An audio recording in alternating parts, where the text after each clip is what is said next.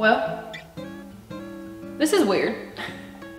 Jim went this morning to go get a tractor and I decided to stay back. I'm not really sure what kind it is. I guarantee you he'll be able to tell y'all. Obviously, we do not have a lot of free time. For the past three years, our life has been chaotic. In a good way, but our life has been very, very chaotic. Between starting to build our homestead from a pasture to raising up Ladley Rue, as y'all know, doing one or the other is a full-time job. So doing both of them has been very, very time consuming for us. In his spare time, which he hasn't had much of in the past three years, obviously, he's gonna be working on this tractor. He's gonna give y'all more of the lowdown on this situation, but today I decided that I was gonna stay home and start texturing some of our walls. Every chance that we get, we've been trying to sheetrock mud everything in the house. Like we talked to y'all about, we put over 115 sheets in here and we still have places that need to be sheetrocked. Lots of sheetrock. The sheetrock mud is a never ending process for us. Jim has been really narrowing it down to certain areas in the house and really working on those areas so maybe we could start completing some walls, get some texture on the walls, prime and paint. Now the priming and painting and texturing and wallpapers and all those kinds of things are definitely right up my alley. Both my parents were contractors, so ever since I was little, I'd be going on the jobs, doing the little things like taking out outlet covers to peeling back wallpaper to texturing walls with them. So a lot of this knowledge that I have of all these things are from years and years and years ago. So I have not textured a wall in at least 14 or 15 years. So this is gonna be a fun thing for me to get back into and if we like this texture, I think we're gonna try and do it on most of our walls. Jim has done a phenomenal job on working on these seams whenever we get a chance. That being said, there's only two places in the house that I can think of that just need some extra TLC where the wall kind of bulges out. And besides those two spots, everything else is smooth. So we could do a smooth finish, but we both actually prefer a textured wall. So deciding which texture was kind of the fun thing for us to figure out. So what I ultimately decided to do was a Bellagio finish. Honestly, I am not sure what the technical name for this or if it is Bellagio finish. It's just what my parents have always called it. So it's something that I'm very comfortable to do, but like I said, it's been a long, long time since I have done this, but I've seen it done, I've done it, I've worked with them a million times doing this, so we're gonna hope this turns out great. And what better time to do it whenever he's not here and doesn't know? That's right, I'm not gonna tell him. I've got my iced coffee, I've got the wall that I decided that I'm going to start on, and I guess it's time to get started. This is so odd. I feel like I have so much room in the camera. Hmm. Or, I mean, uh, I miss my Captain Crocs a lot. All right, y'all, let's get started.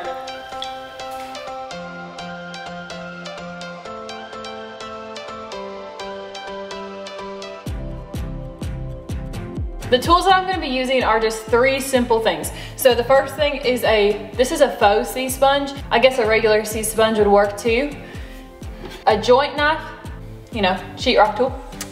And last thing is sheetrock mud.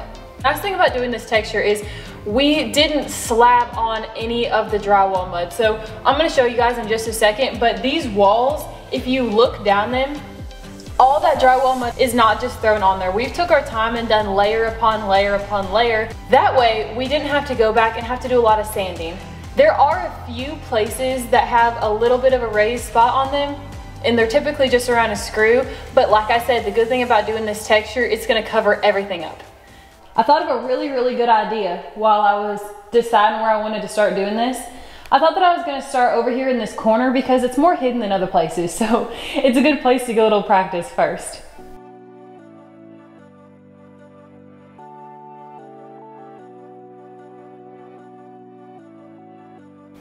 I got my sponge and I just kind of swirled around getting some product on here.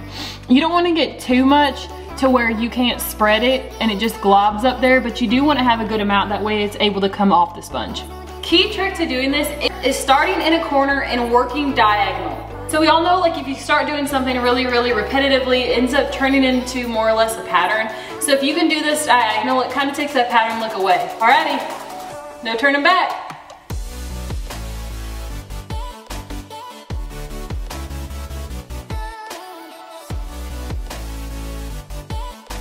Doing this kind of thing, you wanna make sure you're working in a section. I'm gonna work in this section over to the window and then I'm gonna come back and see how this is. This is not just how it's gonna look. I'm, I'm gonna go back and knock down this texture, but you have to let it sit up for a little while. If you go ahead and knock it down now, it's not gonna hold this sponge texture that you're putting on the wall.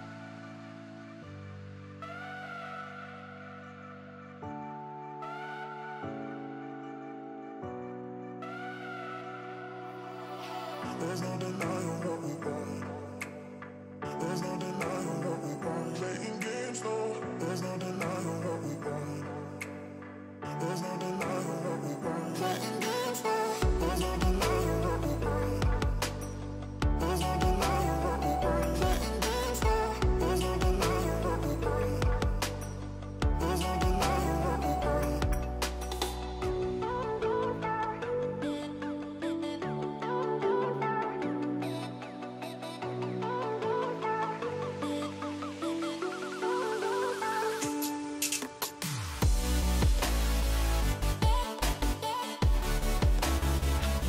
So, apparently we don't have water right now.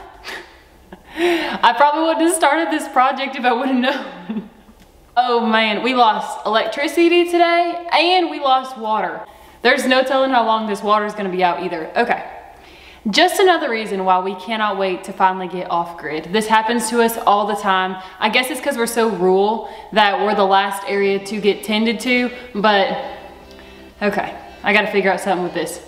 I did start to knock some of this down, as you can tell on the right side of the screen versus the left side of the screen. What I really, really like about this is you truly can't mess it up. You can, I guess, make it where you don't like it, but you really can't mess this up. So no harm, no foul. Unless Captain Crocs does not like it, then I guess, you know, that's gonna be a lot of sanding. Time wise, I set a timer for 15 minutes and it did go off and I started working on the wall, but it just seemed still too wet for me. So it kind of just depends on what you feel. I want it to be a little bit more tacky than this. That way whenever I go to knock it down, it still leaves way more of this texture than if I were to knock it down right now.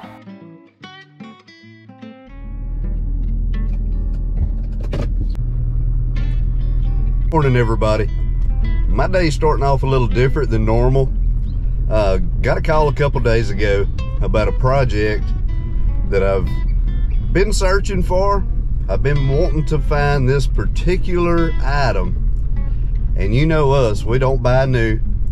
So the item that I was looking for was really hard to find. But we got this call.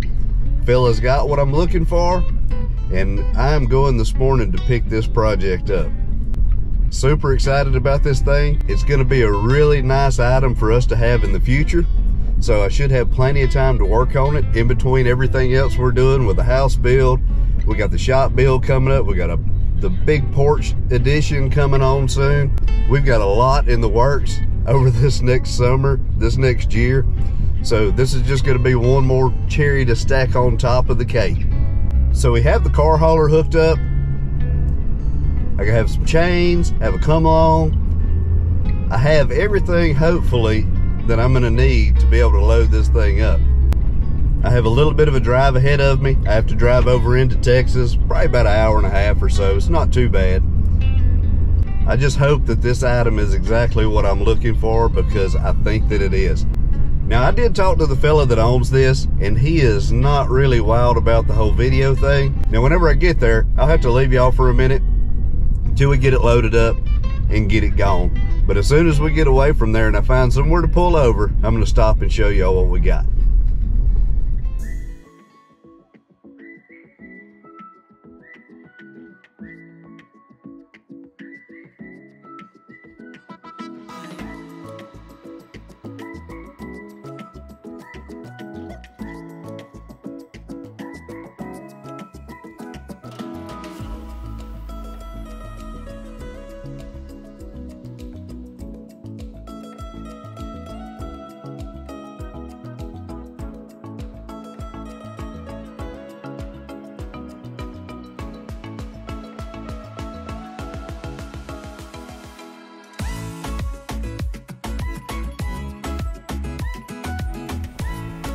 This is some of the area that I did earlier and it's drying up.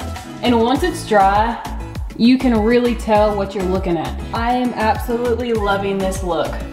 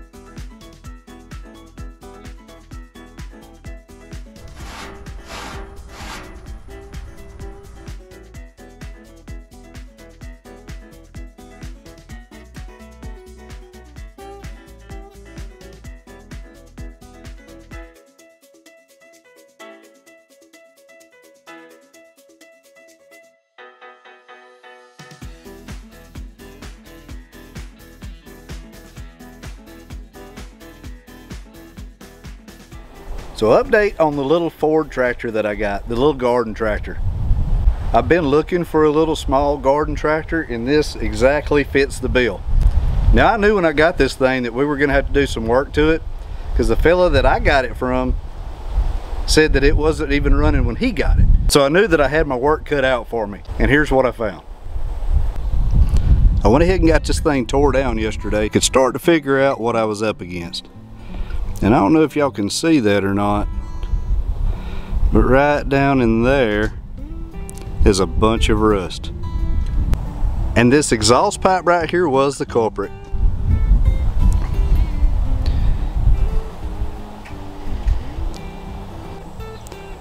So the man I bought it from had a water bottle over the exhaust, trying to keep the water out of it, but it didn't work out.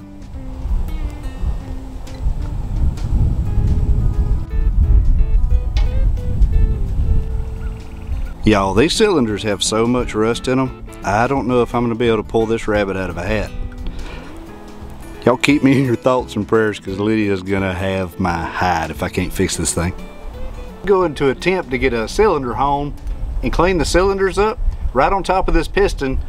That way maybe I can take the piston loose from the crankshaft and tap it up out of there without breaking anything. Because I have assured Lydia that I was confident that I could take this motor apart, clean it up, without buying any parts, put it back together and make it run.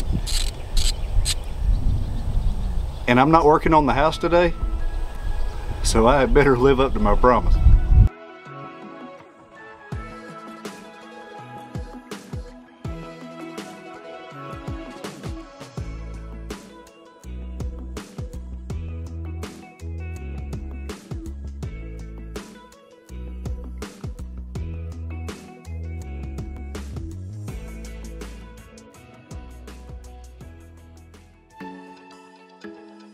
When Jim got home and he got to see the texture, he was so excited. Excited enough to go get the paint and primer so we could get this wall finished.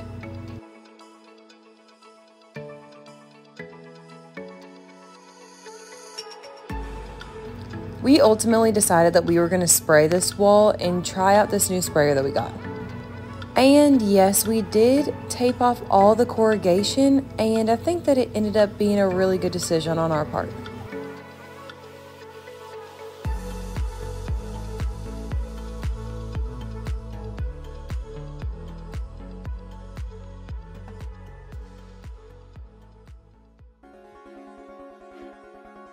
When it came to deciding on a color, we knew that we wanted to do white, but the trick was what kind of white. So we did our very best and decided on a white that matched our tin.